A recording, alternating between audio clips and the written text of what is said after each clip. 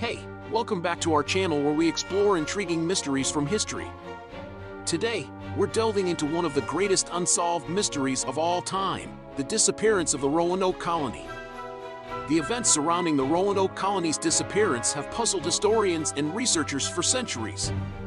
In this video, we'll explore the facts and theories surrounding this mystery and attempt to unravel what happened to the lost colonists. Let's get started.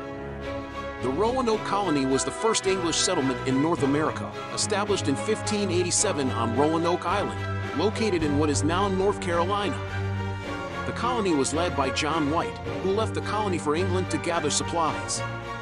When he returned three years later, he found the colony abandoned with no signs of a struggle or violence.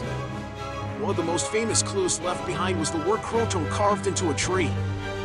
This led many to believe that the colonists had left for Croatoan Island, located 50 miles south of Roanoke Island, where friendly Native Americans lived. However, when John White led an expedition to Croatoan Island, he found no trace of the colonists. Over the years, many theories have emerged about what happened to the Roanoke colony. Some believe that the colonists integrated with the Native American tribes, while others think that they were attacked and killed by hostile tribes. Some even speculate that the colonists may have tried to sail back to England but perished at sea.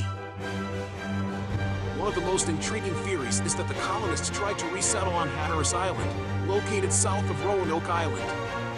In 2012, archaeologists discovered a series of European artifacts on Hatteras Island that could potentially be linked to the lost colonists.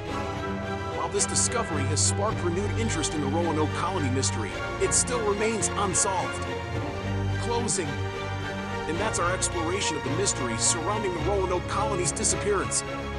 Despite centuries of research and investigation, we still don't know what happened to the lost colonists. The Roanoke colony remains one of the greatest unsolved mysteries of all time, and it continues to capture the imaginations of people around the world. Thank you for watching, and don't forget to subscribe to our channel for more intriguing facts and mysteries from history.